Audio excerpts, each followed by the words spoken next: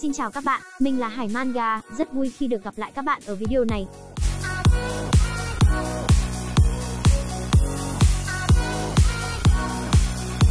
Ở chapter 977, tác giả Akiro Oda đã cho chúng ta biết một thông tin khá sốc, không chỉ đối với độc giả mà còn đối với liên minh mũ rơm. Khi mà lực lượng phân bố chiến đấu đã mỏng này lại còn mỏng hơn, Đối đầu với lực lượng hiện tại của Kaido Bách Thú đã quá khiếp rồi, giờ lại còn lòi ra thằng cu con nữa. Nghĩ chán thật sự. Không biết sức mạnh ra sao nhưng mình đoán cũng phải vào dạng hàng khủng, dù gì cũng chung huyết thống mà. Tiếp theo đó là nhóm Clean Six cũng xuất hiện, cho bạn nào không biết, thì đây là nhóm hải tặc gồm 6 headliners mạnh nhất. Và xét về cấp bậc thì nhóm này cũng chỉ xếp sau bọn All Star và Kaido mà thôi, có thể cả nhóm number nữa, khá khó đoán vì thông tin vẫn mập mờ. Một nhóm khá ngầu, đây có thể là lực lượng sẽ chiến đấu với các thành viên còn lại trong băng mũ dơm Bộ ba quái vật sau khi có hàng mới sẽ trực tiếp đối đầu với các tam tai hoặc những nhân vật đẳng cấp hơn. Và điều ác mộng hơn nữa đó là Big Mom mặc kimono, lù má quốc bảo của người ta mà bà mặc vào có chắn không?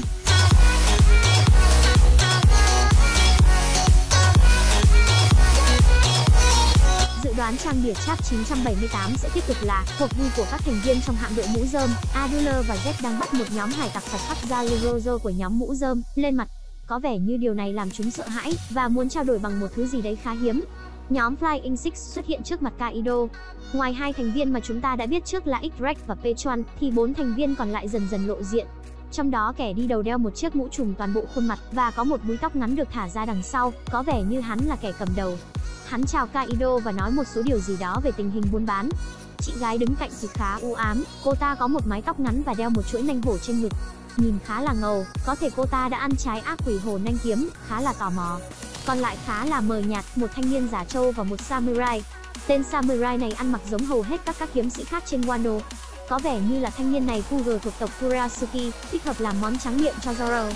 Đây có lẽ là lẽ là một kế sách đề phòng của Orochi dành cho Kaido giống như đã từng làm với Oden, cho một tên samurai xâm nhập đội hình địch để nắm rõ đường đi nước bước.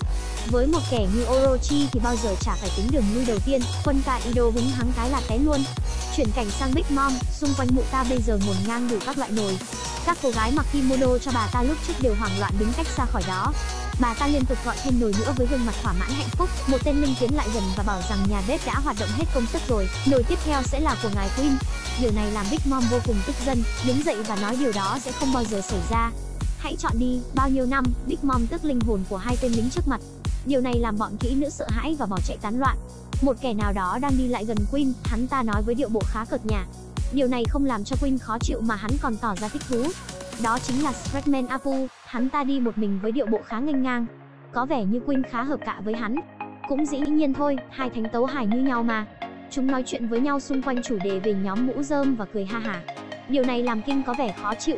Bọn lính bỗng trở nên nghiêm túc khác thường, chúng bỏ hết toàn bộ đồ nhậu xuống và giặt hết sang hai bên. Có điều gì đó đang đến. Quinn khó chịu ra mặt. Buổi hòa nhạc đang sôi nổi bỗng dưng im phăng phắc. huynh đang nguyền rủa kẻ nào đó.